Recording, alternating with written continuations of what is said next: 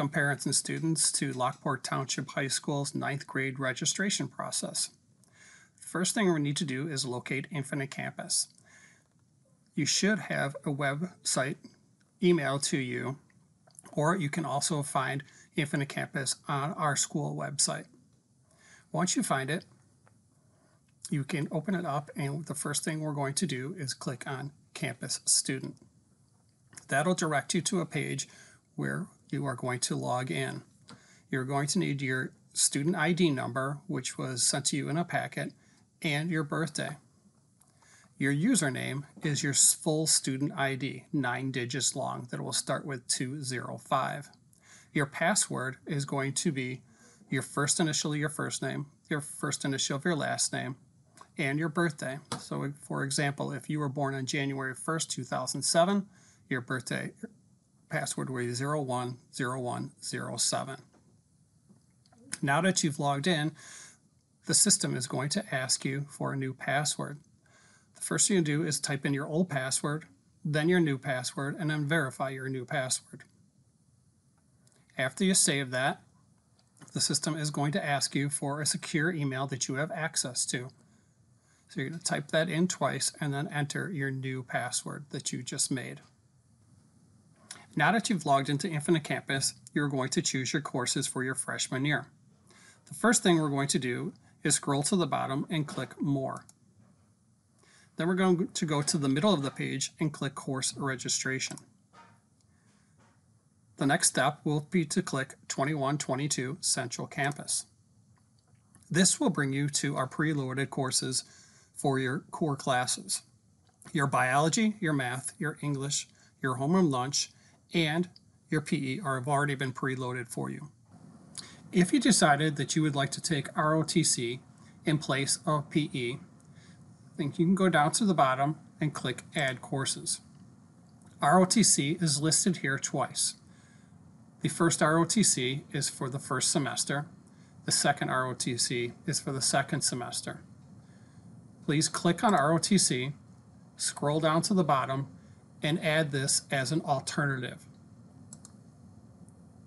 Then go back and click on the second semester ROTC and add that as an alternative as well. You can then go back and see your schedule.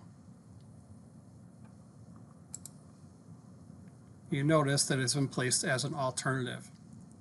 Do not worry about deleting the PE in your schedule. Your counselor will go back and do that for you at a later time. Your next choice will be one of three specific courses to fulfill your digital pathways requirement.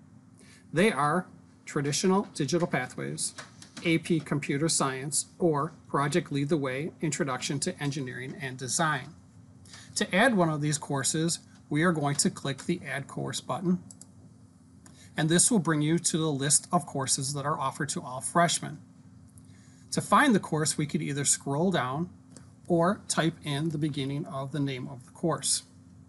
Once you have found Digital Pathways, you can either click on the plus button to add it to your course request or click on Digital Pathways to find more information about that class.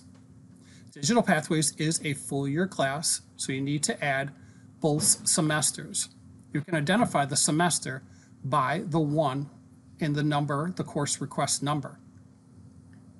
This description box will also tell you the credits the course is worth, the grade placement, the prerequisite if there is one, and a brief description of the course. We are now going to add the class to our course request by clicking the button, and then we're going to go back and add the second semester. You notice the set, the two here, which means this will be the second part of digital pathways.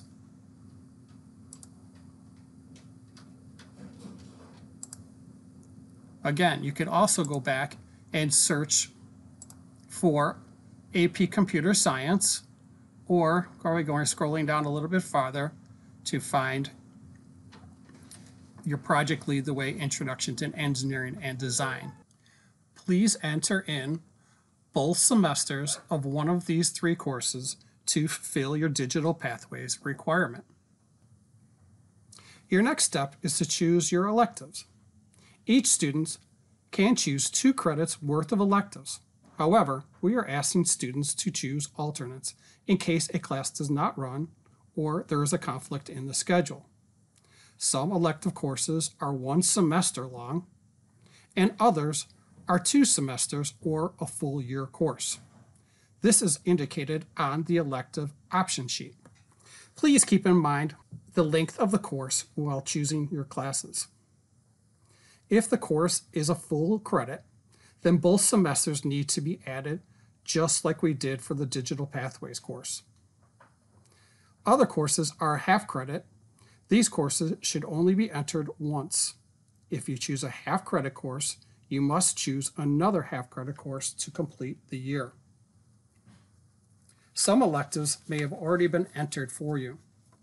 You may already have reading, math enrichment, or learning strategies in your schedule. These are required classes for some students. They will be indicated on your worksheet and will reduce the number of electives that you will be able to choose.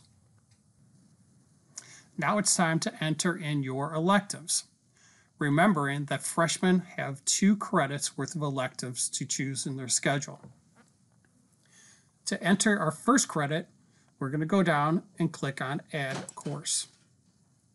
The first course that we may want to put in is a foreign language. So we could either scroll down and find a foreign language or type in the foreign language so it pops up. So I have French. French is a full credit class, so that means we need to put both sections in. So we can click on right here and remembering that this number one here refers to the first semester. So we can go ahead and add that request.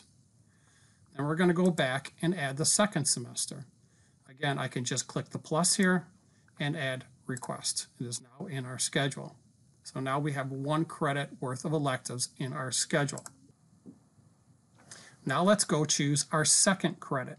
So we're going to go back and choose Add Course and scroll down to the classes that we want to take.